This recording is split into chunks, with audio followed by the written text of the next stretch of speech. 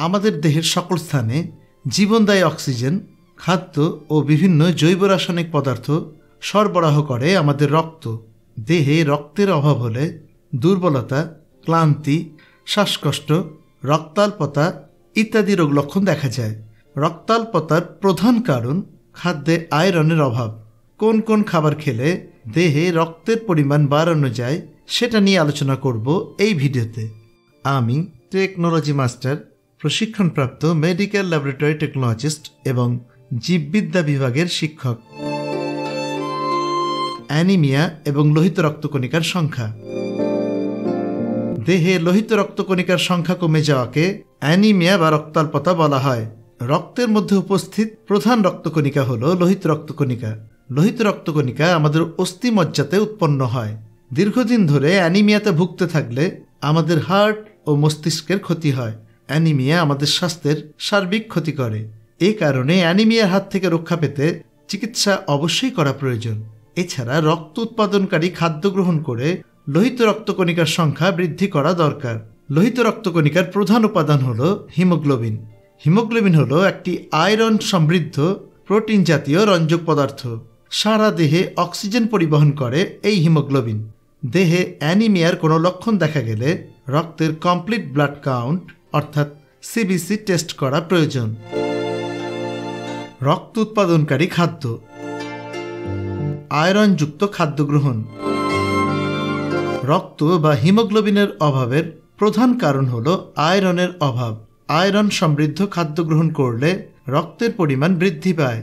বেশি পরিমাণ আয়রন পাওয়া যায় যে সকল খাদ্যগুলিতে। সেগুলি হল পালং শাক, কুলেখাড়া শাক, বিট, মুরগির মাংস, ডিম আপেল, বেদানা, তরমুজ, কুমড়ো বীজ, খেজুর, বাদাম, কিশমিশ, আমলকি ইত্যাদি। এছাড়া মাংস, বিশেষ করে রেডমিট ও মাছের মধ্যে পর্যাপ্ত আয়রন থাকে। আয়রনের দৈনিক চাহিদা। আয়রনের দৈনিক চাহিদা বয়স ও লিঙ্গ অনুসারে পরিবর্তনশীল। সাধারণভাবে বলা যায় যে, একজন প্রাপ্তবয়স্ক পুরুষের প্রতিদিন আট মিলিগ্রাম এবং একজন প্রাপ্তবয়স্ক মহিলার প্রতিদিন আঠেরো মিলিগ্রাম আয়রন প্রয়োজন। গর্ভবতী মায়েদের প্রতিদিন প্রায় সাতাশ মিলিগ্রাম আয়রন প্রয়োজন হয়। ভিটামিন সি যুক্ত খাদ্য গ্রহণ। আয়রন গ্রহণের সাথে সাথে ভিটামিন সি যুক্ত খাদ্য গ্রহণ করা উচিত। ভিটামিন সি আয়রন শোষণে সাহায্য করে। ভিটামিন সি আয়রন বা লোহার বিপাকেও সাহায্য করে। ফলে হিমোগ্লোবিন উৎপাদন সহজ হয়। ভিটামিন সি যুক্ত খাদ্যগুলি হল যে কোনো লেবু জাতীয় ফল, কমলা লেবু, পাতি লেবু, স্ট্রবেরি, পেঁপে, ব্রোকলি, টমাটো, আমলকি ইত্যাদি। রান্না করলে রান্নার তাপে ভিটামিন সি নষ্ট হয়ে যায়। তাই ভিটামিন সি পেতে হলে ফল বা সবজি কাঁচা খেতে হবে। ফলিক অ্যাসিড গ্রহণ। ভিটামিন বি নাইন যার রাসায়নিক নাম ফলিক অ্যাসিড লোহিত রক্তকণিকার উৎপাদনে খুব প্রয়োজন। ফলিক অ্যাসিডের ঘাটতি হলে হিমোগ্লোবিনের উৎপাদন ব্যাহত হয়। ফলিক অ্যাসিডের ভালো উৎস হল সবুজ শাকসবজি, মটরশুঁটি, অঙ্কুরিত গম বাদাম কলা, ব্রোকলি, মুরগির যকৃত ডিমের কুসুম ইত্যাদি। দেহে রক্তের পরিমাণ বৃদ্ধি করতে অত্যন্ত ভালো কাজ করে বিট, কারণ বিটের মধ্যে প্রচুর পরিমাণে ফলিক অ্যাসিড থাকে। এছাড়া বিটের মধ্যে আছে পটাশিয়াম, আয়রন ও ফাইবার। আপেল ও বেদানা। কথায় বলে an apple a day keeps the doctor away apple এবং বেদানা আমাদের হিমোগ্লোবিন স্বাভাবিক রাখতে সাহায্য করে। আপেলে প্রচুর পরিমাণে আয়রন ও অন্যান্য স্বাস্থ্যকর উপাদান থাকে। তাই আপেল রক্তের পরিমাণ বৃদ্ধি করতে সাহায্য করে। দিনে একটি আপেল অবশ্যই খেতে হবে। বেদানার মধ্যে আছে আয়রন, ক্যালসিয়াম, ফাইবার এবং প্রোটিন। এই সকল পুষ্টি উপাদান হিমোগ্লোবিন উৎপাদনে সাহায্য করে এবং রক্তের প্রবাহ বৃদ্ধি করতে সাহায্য করে। আয়রন শোষণে বাধাদানকারী খাদ্য এড়িয়ে চলা। আমাদের পুষ্টিকতন্ত্রে আয়রনের শোষণ স্বাভাবিক থাকলে তবেই রক্তের পরিমাণ ঠিক থাকে। তাই আয়রন শোষণে বাধা দেয় এমন খাদ্য বা পানীয় বর্জন করতে হবে। বিশেষ করে চা coffee, cold drinks, wine, beer ইত্যাদি কম খেতে হবে বা বাদ দিতে হবে।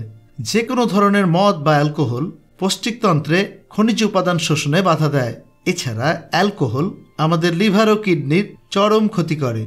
লিভার ও কিডনি রক্তকণিকা উৎপাদনে গুরুত্বপূর্ণ ভূমিকা নেয়। ব্যায়াম। ব্যায়াম এরিথ্রোপোয়েসিস অর্থাৎ লোহিত রক্তকণিকার উৎপাদনে উৎসাহ যোগায়। মাঝারি মাত্রার ব্যায়াম অত্যন্ত উপকারী। ব্যায়াম করলে দেহে অক্সিজেনের চাহিদা বাড়ে এবং হিমোগ্লোবিন উৎপাদন বৃদ্ধি পায়। পরিপূরক খাদ্য ও ওষুধ। দেহে লোহিত রক্তকণিকার পরিমাণ অত্যাধিক কমে গেলে ওষুধ ও পরিপূরক খাদ্য গ্রহণ করে রক্তের উৎপাদন বৃদ্ধি করতে হয়। খনিজ উপাদান ও ভিটামিনের অভাবের কারণে রক্ত কমে গেলে খনিজ ও ভিটামিনের ট্যাবলেট খেয়ে রক্ত উৎপাদন বৃদ্ধি করতে হয়। কোন রোগের কারণে রক্ত উৎপাদন কমে গেল সেটা নির্ণয় করতে হবে এবং প্রয়োজনীয় চিকিৎসা করাতে হবে। কিডনির রোগ বা লিভারের রোগে রক্তাল্পতা হলে অবশ্যই চিকিৎসা করাতে হবে এবং রক্তের উৎপাদন বৃদ্ধি করতে হবে। রক্তের পরিমাণ অত্যাধিক কমে গেলে দেহে সরাসরি রক্ত গ্রহণ করতে হয়।